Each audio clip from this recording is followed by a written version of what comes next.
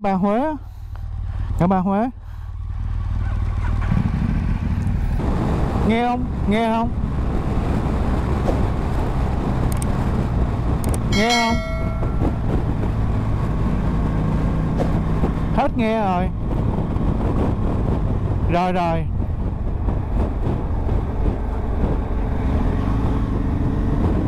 À ok. Rồi, tour của hai anh em à, điên khùng nha mọi người.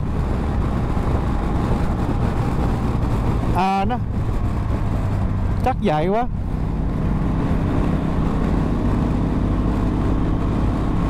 Trước mặt mọi người là lãng tử Ducati, Ngô Thanh Nhật Minh. Ừ. ghê chưa? Ghê chưa ghê chưa?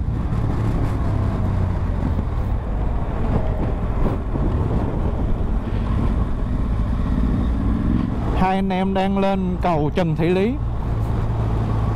Một trong những cây cầu nổi tiếng của thành phố Đà Nẵng ha.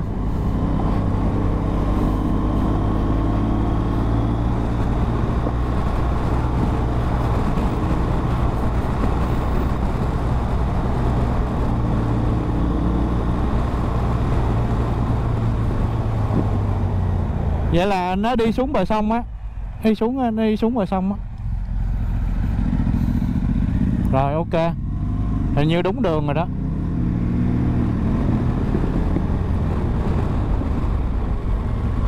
Rồi, đường này là bơm thẳng ra ngoài quốc lộ luôn.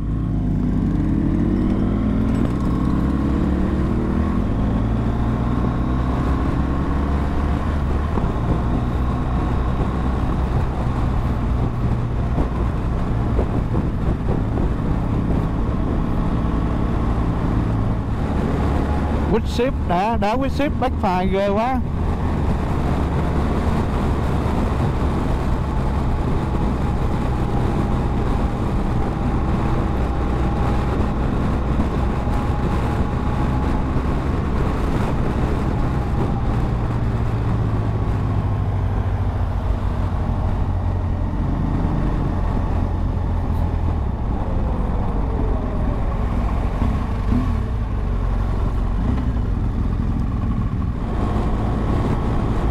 Cái cado của à, bạn Minh bị hư rồi.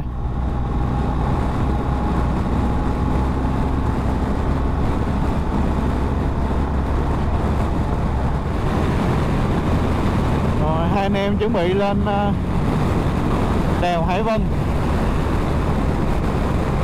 Phía trước mọi người là đèo Hải Vân. Và hai anh em chúng tôi đang có một cái quãng à, đường khá dài gần 900 cây. Để cùng nhau chạy ha.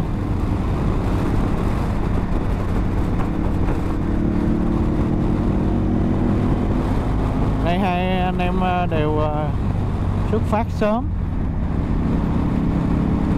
Mình thì à, đi buổi sáng, còn mình thì chạy chậm cho nên là tranh thủ đi buổi tối rồi đi tàn tàn đợi Minh ra sau.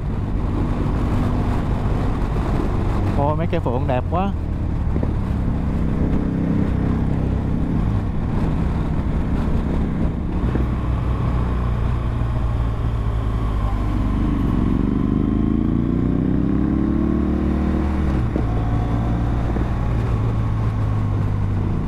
Xe mình có cái à, anten nó làm sao.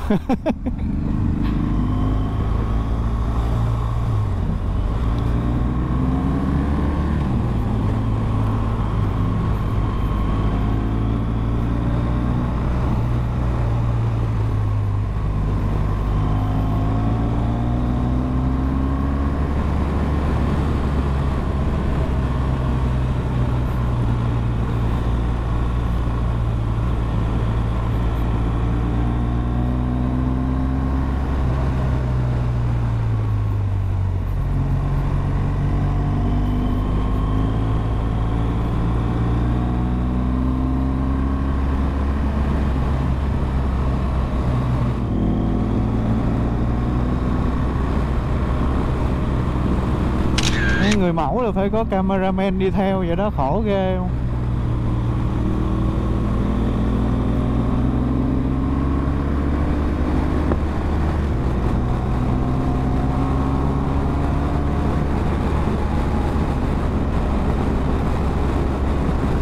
Anh em đang à, đi trên đèo Hải Vân ha mọi người.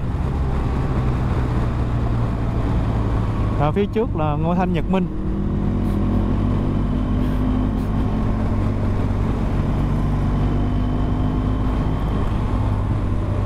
Hai tay đua đang trong à, những cái vòng đua cuối cùng của MotoGP. Xà mà không chịu nổi luôn.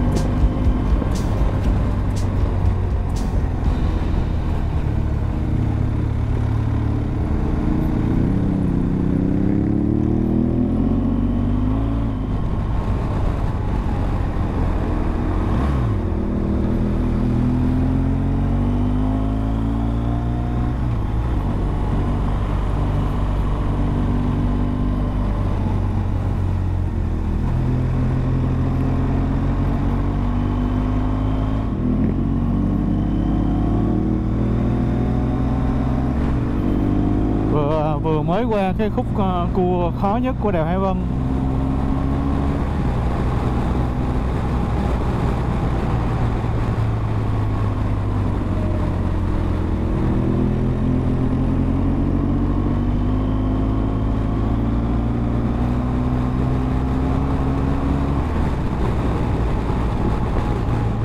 Cuộc so tài giữa BMW và Ducati.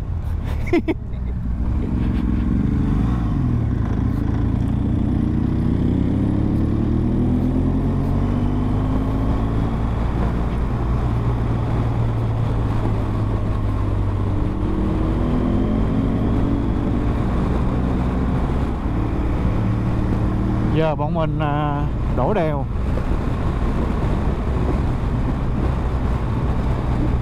mình thì mình thấy đổ đèo nó khó hơn lên đèo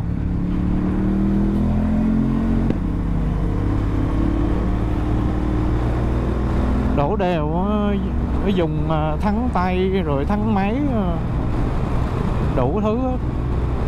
lên đèo coi cho nó dễ hơn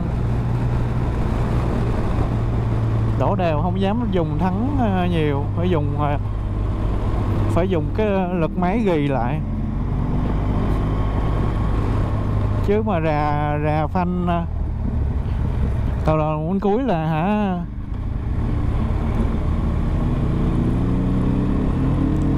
Xuống đến đèo là ờ, quăng cùm phanh luôn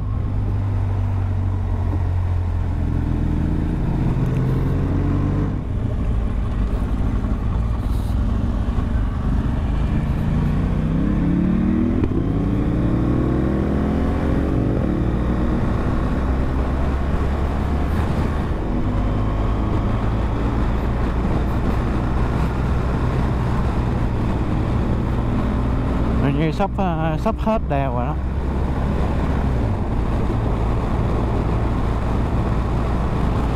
Đèo này mà đi buổi đêm mà mới ờ, cảm giác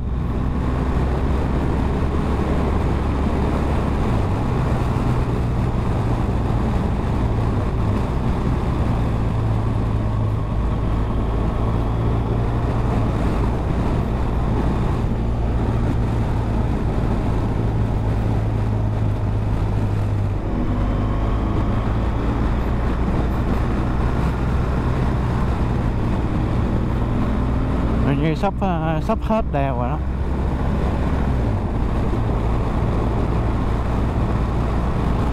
Đèo này mà đi buổi đêm mà mới ờ, cảm giác.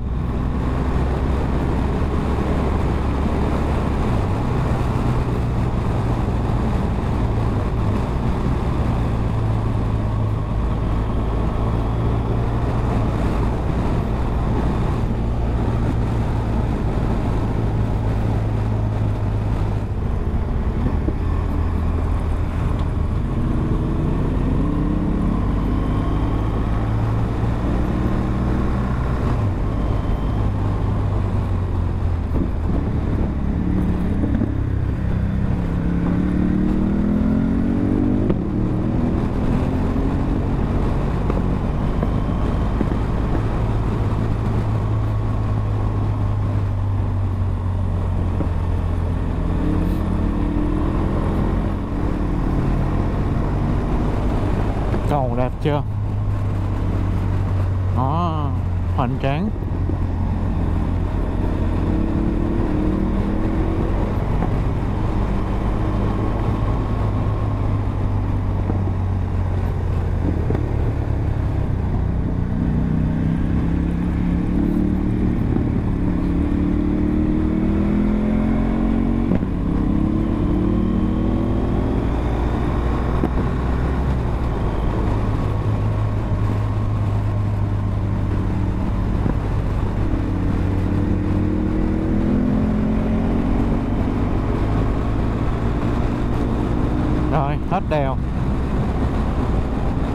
vào địa phận của thừa thiên huế.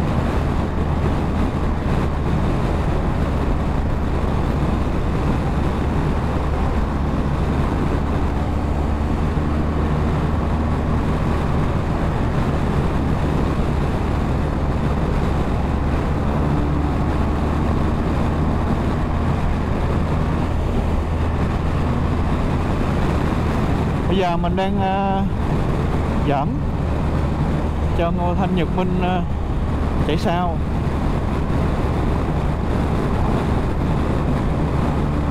nói chung là đi trên đường thì thỉnh thoảng anh em đổi vai trò cho nhau để cho nó đỡ buồn ngủ. Với lại quan trọng là uh, thằng chạy sau nó quay phim cho thằng đằng trước.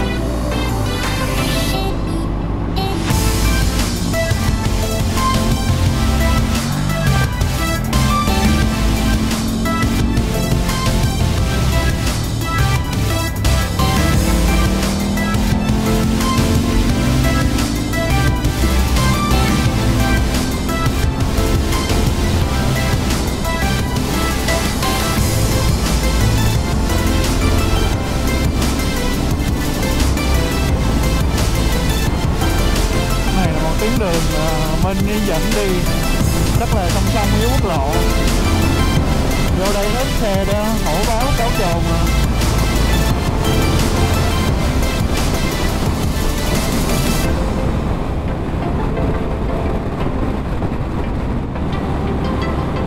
đoạn này là đoạn La Sơn Tí Loan Mình dắt à, đi cho trải nghiệm.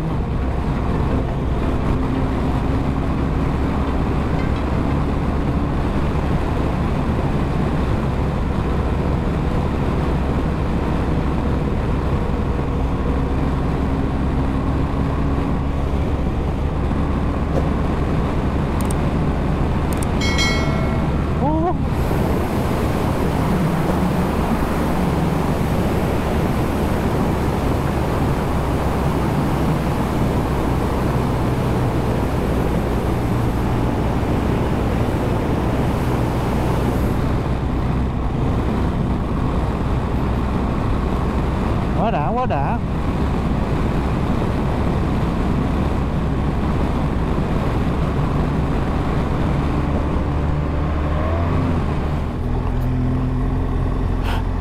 Trời, tưởng ảnh biết đường. Ai về ảnh cũng không biết đường. Cái đường nào trời?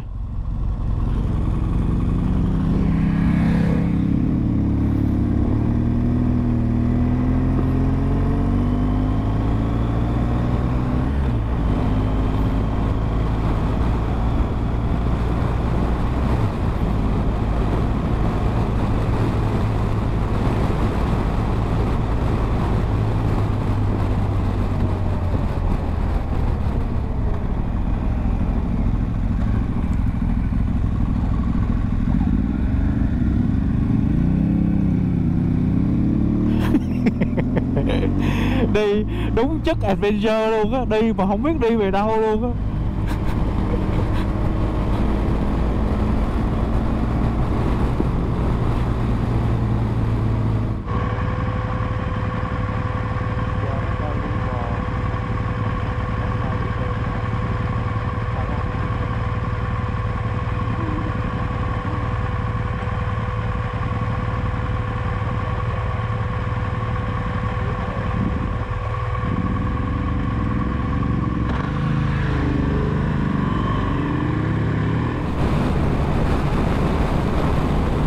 sau cùng quyết định là cứ theo quốc lộ đi cho chắc.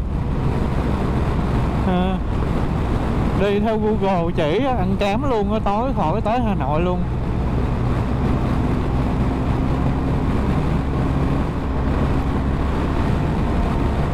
Hai tụi tôi uh, vừa đặt chân vào thành phố Huế ha mọi người. Vào thành phố Huế và tiếp tục đi thẳng để đi uh, thành phố Đông Hà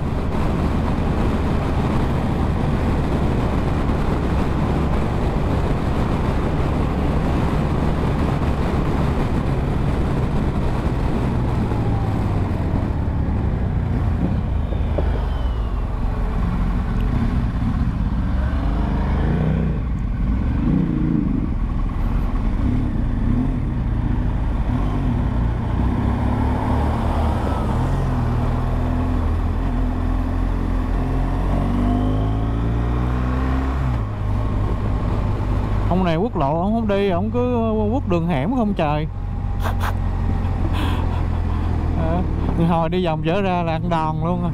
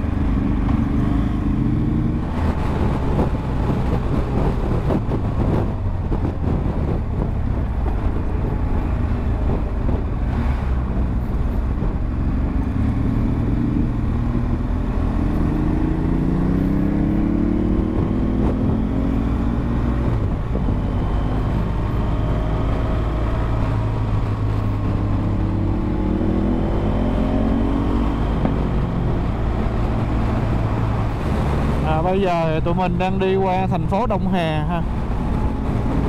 Đông Hà như thành phố của tỉnh Quảng Trị vậy phải. À, chắc vậy. Đi à, đường này chứ không phải đi quốc lộ. Đi quốc lộ 1 nó xe tải nhiều quá.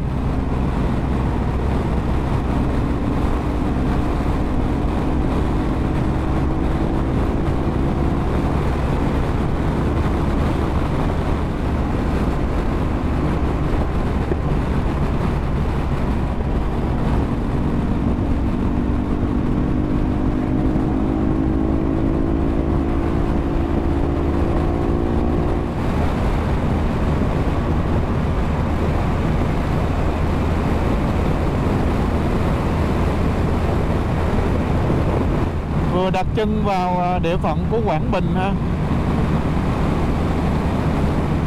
Qua Quảng Trị đến Quảng Bình.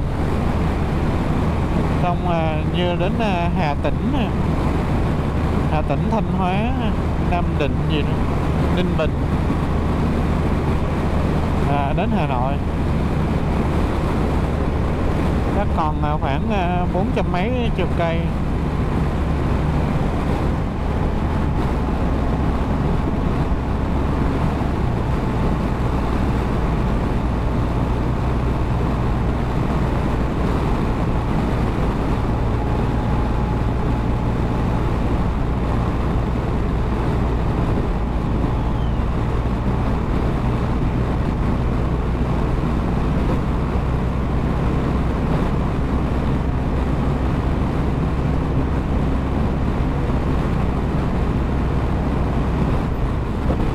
hai tụi mình đang ở thành phố Đồng Hới à. cũng đang à, tiến về hướng của Hà Nội.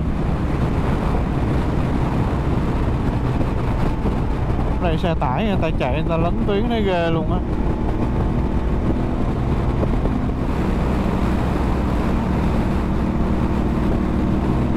Ngô Thanh Nhật Minh đã quá êm mong rồi. Nó đổi tư thế chạy.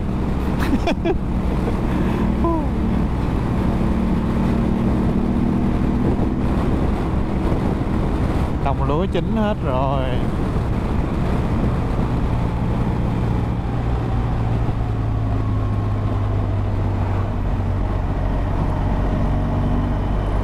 Coi vậy chứ ờ, cũng ờ, không có như ờ, đáng sợ như tưởng tượng đâu. Mới đầu mình cũng nghĩ là Sài Gòn, Hà Nội đi cũng chua lắm á. Nhưng mà mình đi rồi mình thấy đến bây giờ có khả năng đến đến Hà Nội trước 24 tiếng. Mặc dù là ghé à, ăn trưa, nghỉ trưa này kia đầy đủ. À, không đến nổi đâu. Chỉ là mình mình mình dám vượt qua được cái cái nỗi sợ của mình hay không thôi à. Còn xe thì cũng không cần phải xe gì ghê gớm đâu. Mấy người ta đi xe, tay ga ta đi luôn á. Đều à, nếu mà cái xe nó tốt á, thì mình đi mình tự tin hơn. Chỉ có vậy thôi.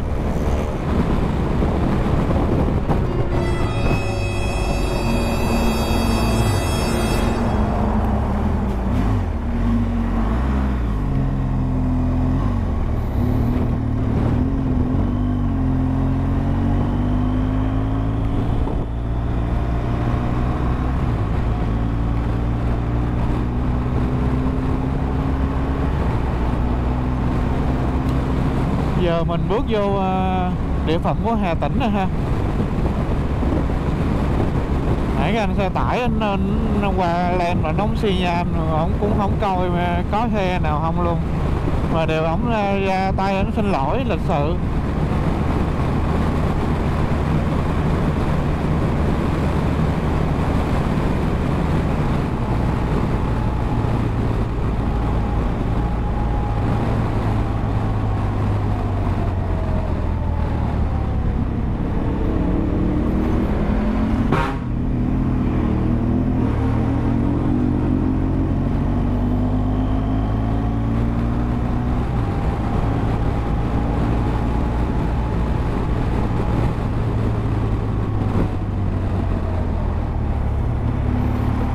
ở đây à, người ta chạy xe. Mình không hiểu người ta chạy kiểu gì. Nó chậm một cách bất thường luôn. Cái gì bất thường á, mình hơi bị hoảng, tại mình không có biết được người ta sẽ xử lý như thế nào á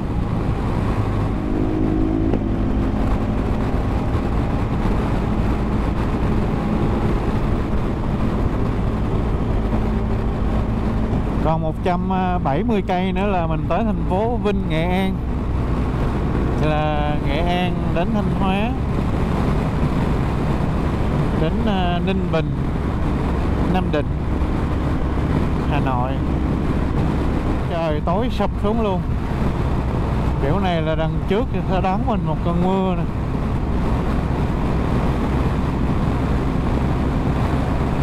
Kiểu gì cũng dính trận mưa trước khi vô Hà Nội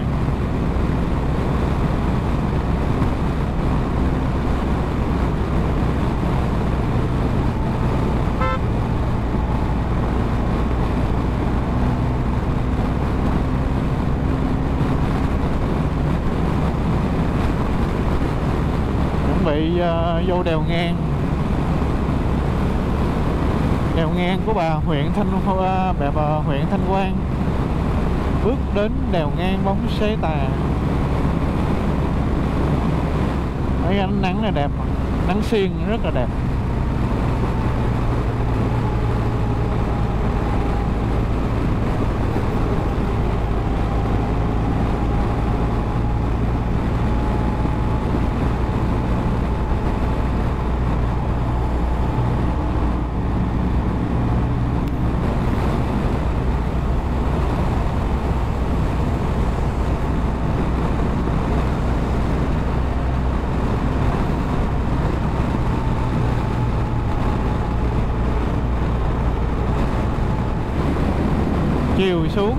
Còn hai anh đang lang thang ở một nơi nào đó, cách Hà Nội 400 cây.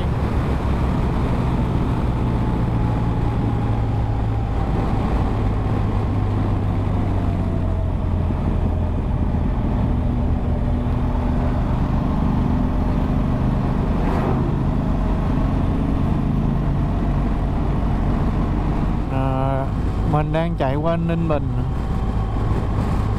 cái đường trong kia. Quẹo đi Ninh Bình. Ninh Bình là quê à, bố mình. Hoa Lư. Rồi đi chuyến này nhiều cái trải nghiệm hay quá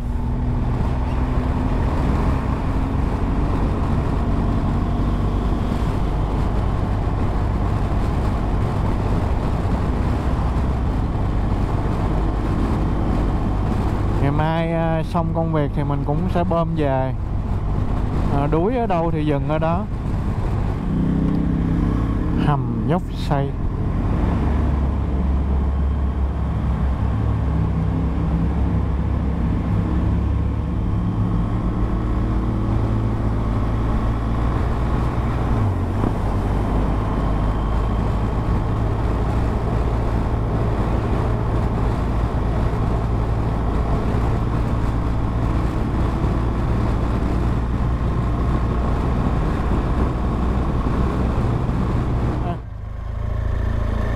tới nơi an toàn à, còn à, ngủ uống sinh tố không mà mới đi về. Giờ đi về kiếm à, chỗ ngủ. Mai xử lý công việc xong rồi à, à, bào về.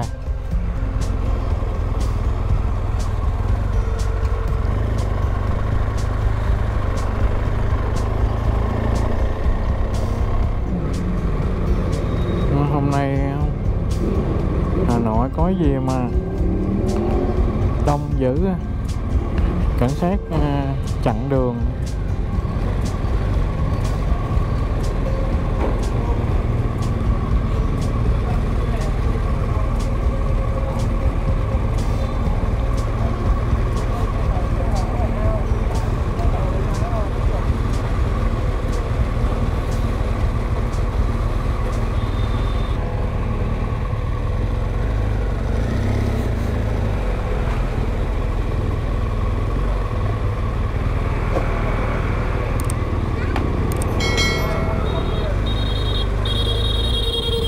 chợ đêm chợ đêm của khu Long Biên à.